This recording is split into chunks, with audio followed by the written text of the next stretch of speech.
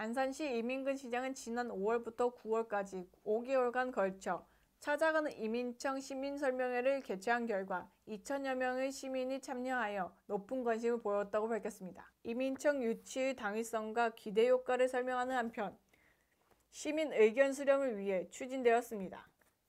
이번 설명회는 총 42회를 걸, 걸쳐 진행되었으며 2,035명 시민이 참여해 큰 호응을 얻었습니다.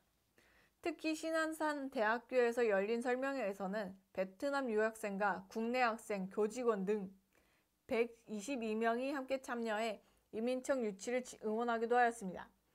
한편 설명회 과정에서는 1,511명의 시민이 참여한 자체 설문조사 결과 86.6%가 한국의 이민청 신설이 필요하다고 답했고 91.4%는 이민청의 안산시에 유치하는 것에 찬성하는 것으로 나타났습니다. 이민청이 안산시에 유치되었을 때 기대하는 점으로는 경제 활성화가 될 수 있다는 답변이 40%로 높았습니다.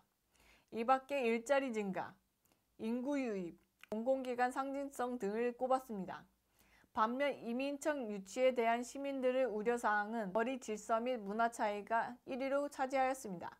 범죄 발생, 이민자 유입 등도 이민자 유입 등도 우려 사항으로 꼽혔습니다. 이는 향후 시민들의 우려와 오해를 해소하기 위해 소통을 이어갈 방침입니다. 안산시 이민근 시장은 이민청을 유치하기 위해서는 시민 공간과 사회 통합이 가장 중요하다라며 안산시의 새로운 도약이 될 이민청 유치를 위해 시민 공감대가 확산될 수 있도록 노력하겠다고 말했습니다. 경기 국민일소의 박주영 기자였습니다.